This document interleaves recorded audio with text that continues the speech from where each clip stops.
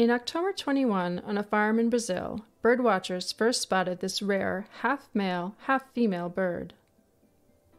The bird is a green honeycreeper. See its blue and green sides? That's one clue that it exhibits both sexes. Scientists call animals like this gynandromorphic. Here's what a typical male and female honeycreeper look like.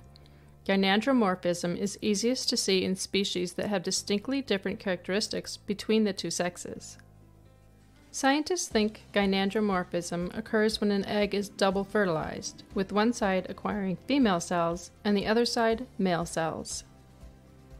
Here is a rare video of the bird, captured by John Murillo. Meanwhile, evolutionary geneticist Hamish Spencer of the University of Otago in New Zealand studied the bird.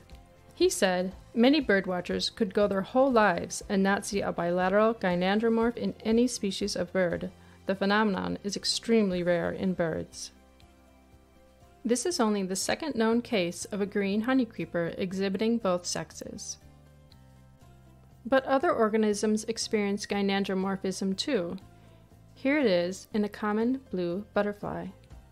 Given the subtlety of many male female characteristics in animals and how hard they can be to detect, scientists think gynandromorphism might be more common than generally realized.